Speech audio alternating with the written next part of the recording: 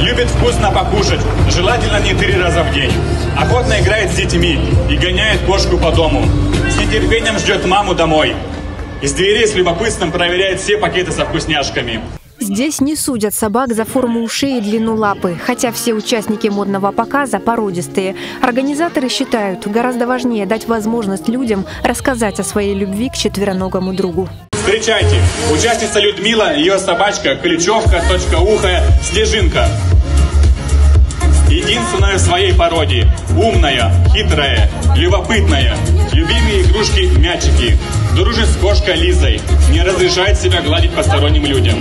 Когда Людмила подходит домой, Снежинка всегда радостно встречает ее. Целует и заглядывает в сумки.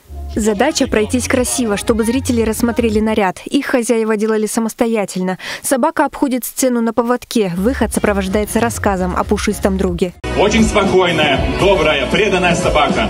Никогда в своей жизни она не ходила на поводке. Предпочитает спокойно шагать рядом с хозяйкой. Не любит оставаться дома одна, поэтому везде ездит с хозяевами. Раньше любила бегать за мячиком, прыгать и веселиться. Сейчас предпочитает спокойные прогулки, полежать на свежем воздухе, посмотреть по сторонам. В общем, все согласно возрасту. Степень воспитанности у всех животных разная, но, как показывает практика, такое мероприятие уже проходило в Барнауле. Ни одна собака, к которой хозяин относится с лаской и заботой, ни лаем, ни попыткой сбежать никого не напугала. Мы хотим эм, чтобы, чтобы культура поведения, чтобы отношение к животным улучшилось в нашем регионе, ну и во всей стране. И, соответственно, делаем такие события.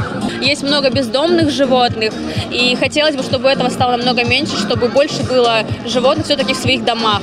Для села Ключи такое событие стало первым. Участники получили подарки в виде здорового корма. После такой попытки жители ждут продолжения, чтобы в показе смогли поучаствовать и крупные собаки. Ведь не от породы зависит, насколько сильно пес предан своему хозяину. Дарья Ерошина. День с толком.